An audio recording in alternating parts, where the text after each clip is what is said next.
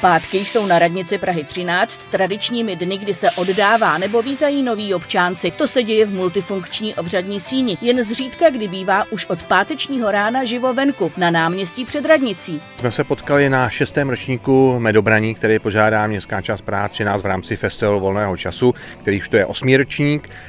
Jsem velmi rád, že i v takové nelehké době sem ty lidé přijeli, ty vystavující, respektive prodávající.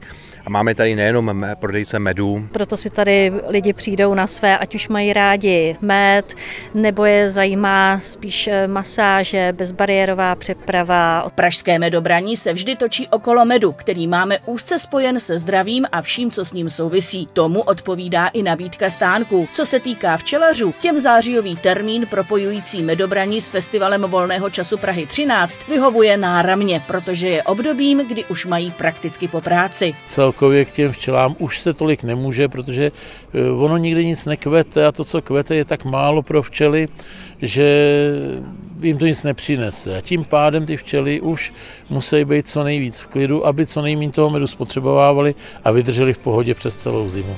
Příště více o medu i vosku, ale nejen o nich. Ve druhé reportáži ze 6. medobraní na Slunečním náměstí, kterou jsme zařadili do příštího vydání týdeníku Magazín. Které části těl nejvíc zanedbáváme, na čem svému zdraví rádi ujíždíme a čím je med tak zázračný, dozvíme se už za týden.